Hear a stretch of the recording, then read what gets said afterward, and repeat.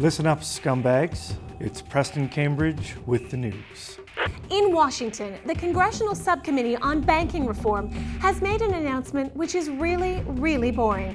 Seriously, we won't even waste your time. Is your child at risk? Experts say the number of shark attacks is on the rise. This man killed his entire family, then spontaneously combusted. Could it happen to you?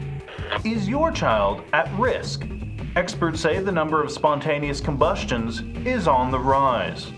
Adhesive manufacturer M3 issued an apology today to all consumers who purchased Glube, a product combining lubricant and glue into one convenient substance. No explanation was given for the apology, but a spokesman for the company said they were very, very sorry and felt my your pain. I'm Preston Cambridge, and apparently that was news.